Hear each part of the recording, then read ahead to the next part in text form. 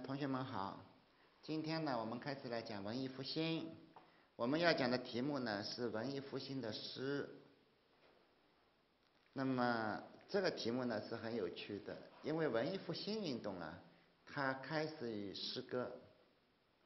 出现了哪些诗人呢？出现了但丁、彼得拉克、薄伽丘等等。同时呢，文艺复兴也起源于艺术，起源于各种画啊。所以我们中国人呢，把它翻成文艺复兴，主要就是它从诗歌开始的。在文艺复兴中堕的艺术领域里呢，其实就是没有什么东西要比诗这个领域更加的动人，更加清澈，也更具有那个说服力了。同样的，在人所居住的世界里，没有什么要比人这样一种生物呢。更加能够改变我们的社会，也没有什么要比人文主义这个词汇更加简单的说出人们的感受了。所以今天呢，同学们到这里来啊，嗯，我们都知道这里的同学非常优秀啊，汇集到这里，就是想知道为什么文艺复兴是。起源于诗歌，起源于艺术，而不是起源于其他的什么。因为文艺复兴呢是一种文化的积淀，或者说文艺的复兴。那是随着人类的诞生，随之而来的呢，其实就是文化的诞生。而文化呢，正是我们这个人类，我们这个星球所最不可缺少的东西了。我们对这一点所以有这么深刻的感受呢，是因为有一种异常的东西，一种非文化、非理性的东西，曾经在很长的一段时间里统治过欧洲的历史，那就是黑暗的封建时代。他宁可只要野蛮，也不要文化；宁可只要简单的武力统治，也不要复杂的文明治国。所以呢，我们有一种说法，叫做“黑暗的中世纪”。他要求把文化束之高阁，或者要求文化永远只在想象的空间里面，去描绘那种动荡不安的宗教的肖像画。然而，在诗人所唤醒的文艺复兴时代，一切却是完全不同了。人们明白了一个道理：人类创造了物质。但是没有文化的物质只会把我们引入歧途，增进敌意。因为欲望呢，常常会逼迫人们放弃那些更加令人激动的属于人的东西。中世纪的武力、战争、等级，这只会让人想起地位、欲望，只能想起那些金银和房子，只会去想那些吵吵闹闹的无休止的争辩。和骑士们的你死我活的决斗，而当人们从野蛮状态中摆脱出来以后，那就会感到，如果没有文化，没有诗，那么人就会很快忘记我们人类的最主要的目标和最珍贵的东西的。所以，人文主义只是一种感觉，一种对于人的生命的真实理解以后所产生的感觉。它不是一种成体系的哲学，不是意识流，不是意识形态，不是为艺术而艺术的经验哲学家们创造出来的高深莫测的东西，因为它只是一种关于人性的感觉。当我们在大街上走的时候，我们会看到一些很美丽的人，看到一些很令人愉快的现象，看到人脸上的笑脸，看到欢乐，在这种时候。一种审美的感觉就出来了，随之而来的就是光、美、爱、灵魂，还有和人的尊严连在一起的真正作响的音乐声。当人文精神到来的时候呢，每个人都会立刻感到，他其实都是追求美的，追求一种完美无缺的东西。那些完美无缺的东西总是令我们感动。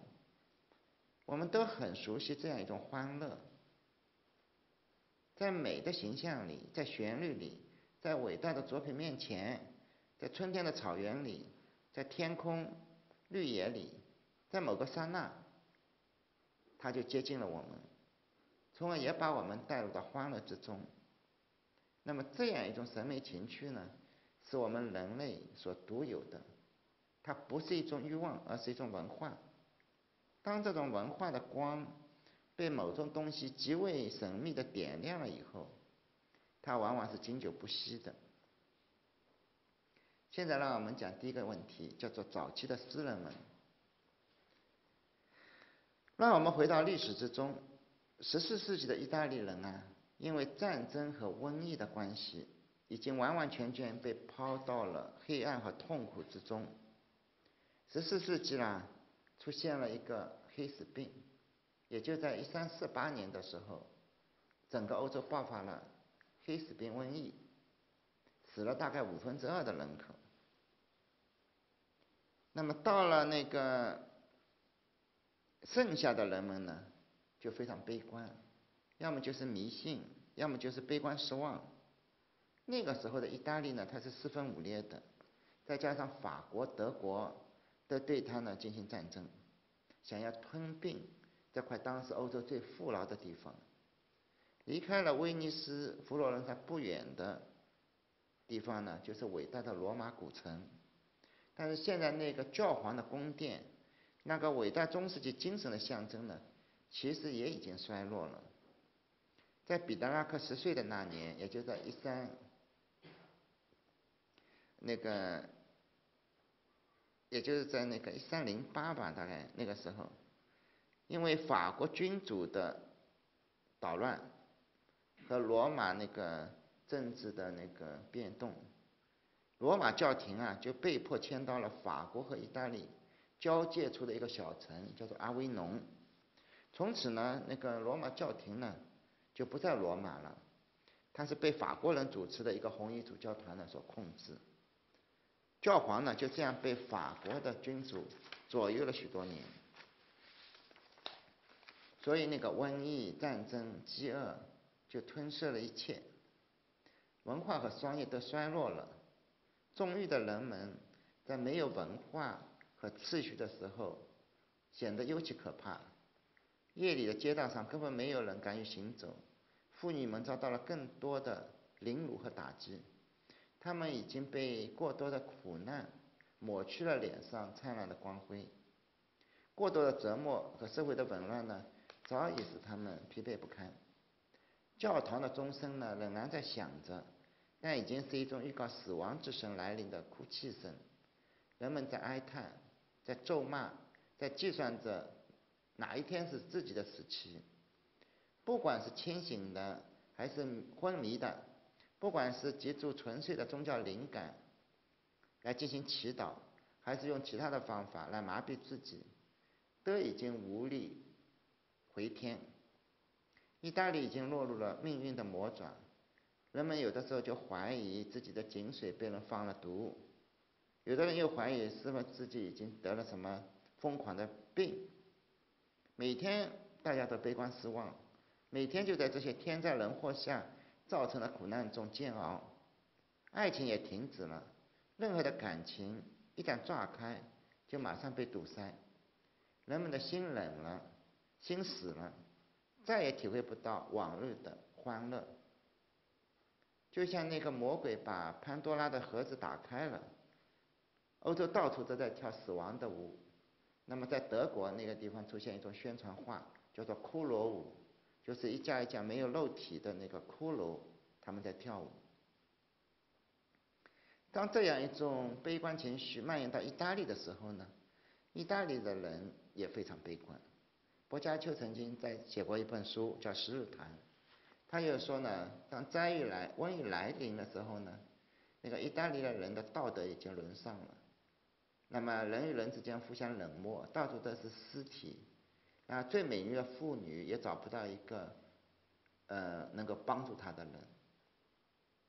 在这样一种情况呢，人人就出现一个道德沦丧的局面。那么至于意大利人引以为豪的那种文化，那曾经产生过伟大诗人，但丁的国土。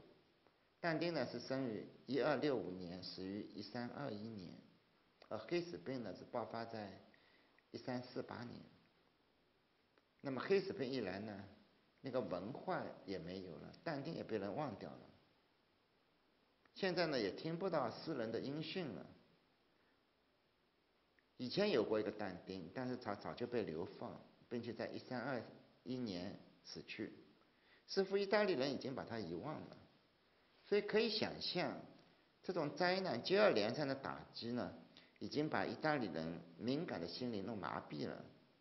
好像事实上，文化和艺术注定要远离这片曾经深深热热爱过他们的土地，仿佛人们心中的伟大理想和那些与时间共存的诗篇，也要伴随人们的叹息，而永远的宣告自己的终结。那么就在这样一种环境中，人们的生活呢，除了重复还是重复。生活就好像是一个大的布袋，过去什么道听途说的谣言都可以引起人们的好奇，现在人们的思维呢，既然已经被局限住，那么人的愿望也就不能展开了。意大利多雨的天气、阴暗的天气中呢，几乎没有什么能够引起人们高兴的事情，因为在那种黑暗时期呢，种子呢不能发芽。英雄和理想的个性，都在阴冷之中呢，变成了灰蒙蒙的一片。就在这样一片惊慌、迷乱和无奈之中呢，好像在一批非常不为人重视的文化人那里，开始传递从阿威农那里传来的几首小诗。那些小诗也没有论述什么伟大的问题，他们只不过是一些爱情诗。是一个名字叫彼得拉克的人写的。那么彼得拉克呢，是生于一三零四年，死于一三七四年，活了那个七十岁。那一年呢，彼得拉克不过二十岁。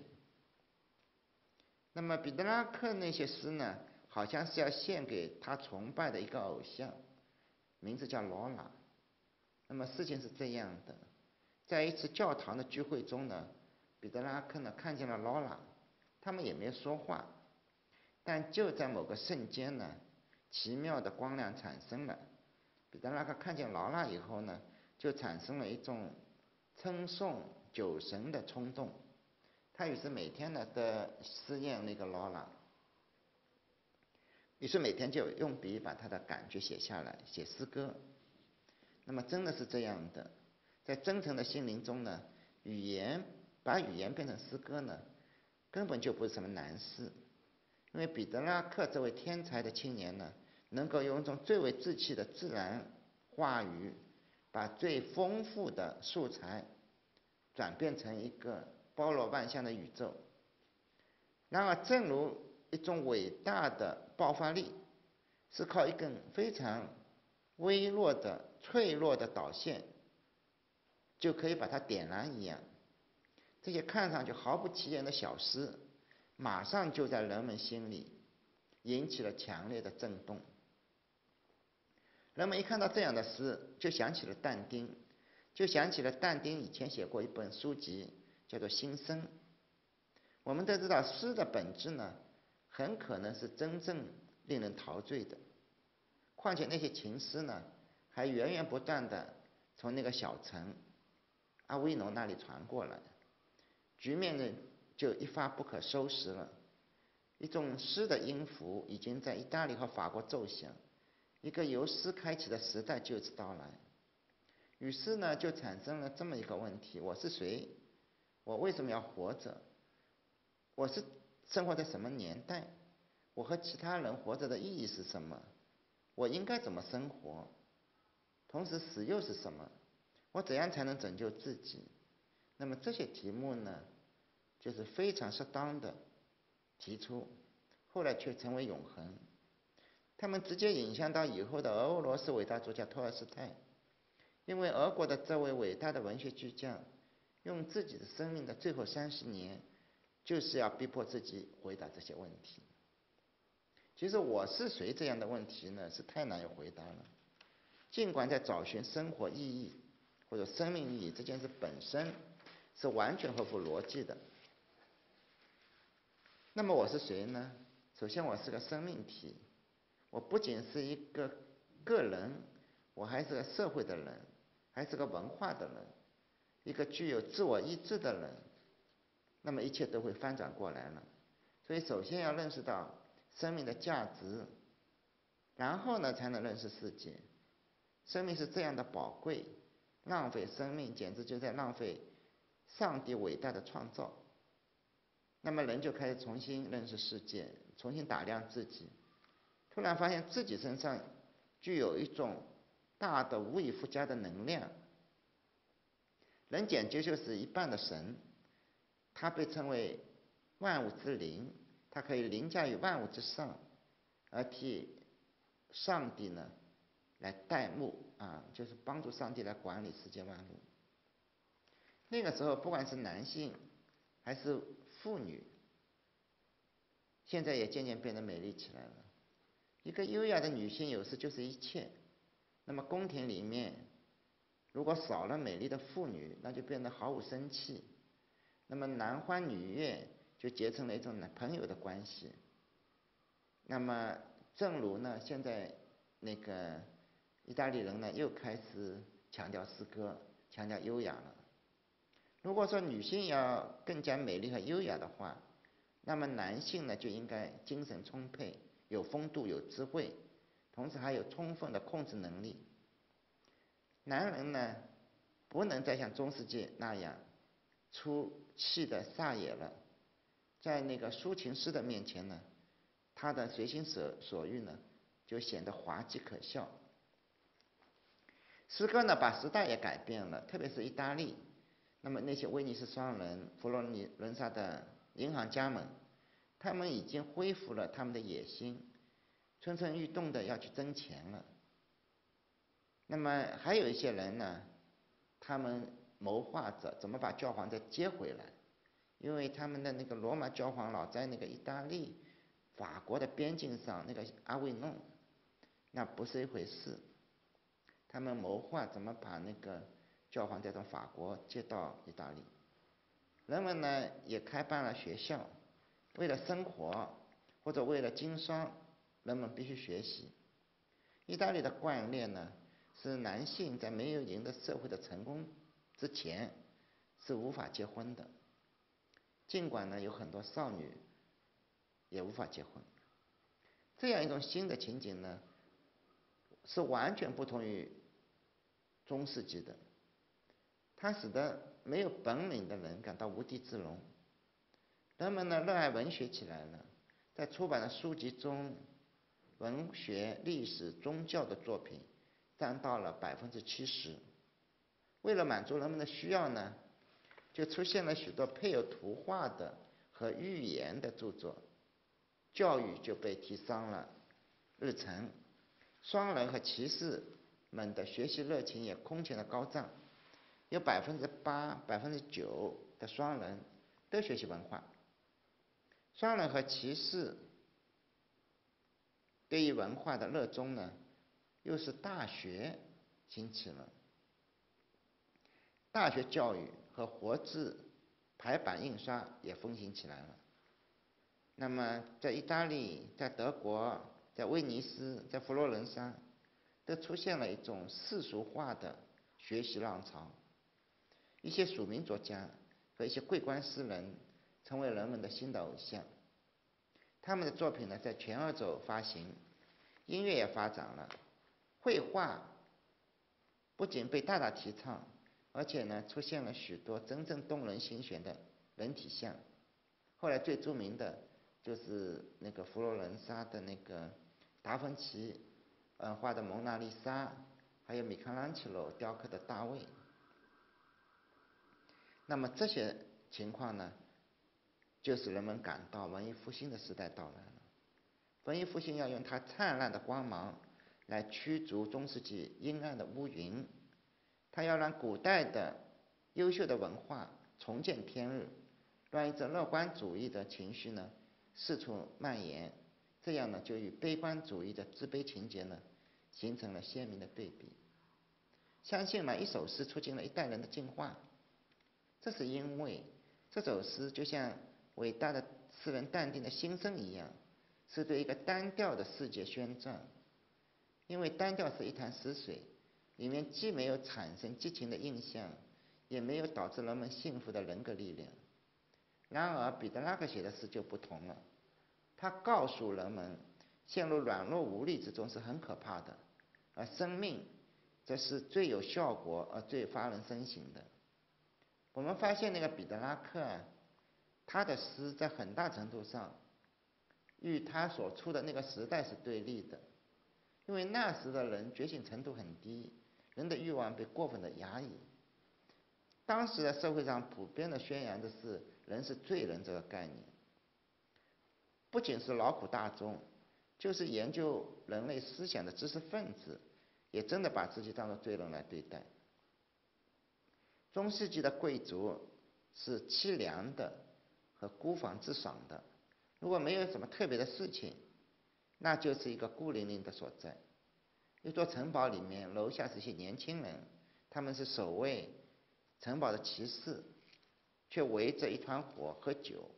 他们仰仰视住在楼上的那个领主和主人和小姐。所以那个时代，死亡距离人们的生活很近很近。农民更是挣扎在死亡的边缘，贵族活得也不好，他们常常因为战争而遭遇不测。那么现在呢？文化和诗歌来了，诗歌带动了一个时代，又推动了一个时代。诗歌、艺术、绘画、雕刻，像暴风般的向人们涌涌来，每天都有奇迹发生，每天都有用强有力的艺术造型来唤醒人们。戏剧也开始了，文化正用正用他那个训练有素的双手，从各个方面来震撼人心。又过了几年，那个时候彼得拉克已经三十岁，三十七岁了。当彼得拉克刚写诗的时候，他是二十三岁，现在他已经三十七岁了，距离他初次遇见劳拉的时候，已经过去了整整的十四个年头。这一年，他和他的朋友们聚集到了罗马，在古老的罗马元老院的遗址的废墟上。朋友们为他加冕为桂冠诗人。那个时候啊，尽管彼得拉克已经声名卓著，然而呢，他现在个人怎么样已经不太重要了。重要的是呢，彼得拉克和他的朋友们已经结成了一个团体，一个被后人称之为人文主义者的团体。这些人都已经长大，他们不仅仅是浪漫主义的抒情诗人。而且他们也在几个方面一展风采，一个就在形象的领域、视觉艺术的领域，那就是写诗、搞艺术、雕塑、绘画，大批的作品涌现，足以震撼人心。